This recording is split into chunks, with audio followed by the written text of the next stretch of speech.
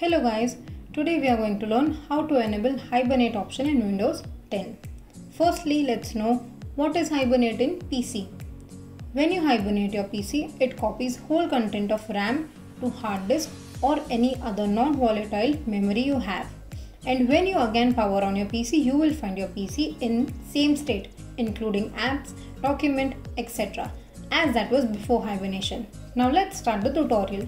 Click on the bottom left Windows icon and click on power button. Here you will see no hibernate option available. Now click on the search bar and type control panel.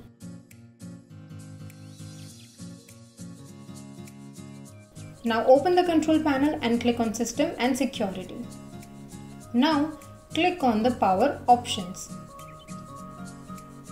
Now choose what the power button do.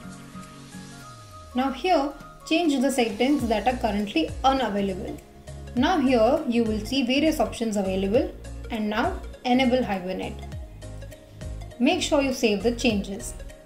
Now when you click on the Windows icon and power button, you will be able to see Hibernate option available. When you want to disable the Hibernate option, follow the similar pattern and deselect the Hibernate option. Also make sure you save the changes this time and then you will see there is no Hibernate option again.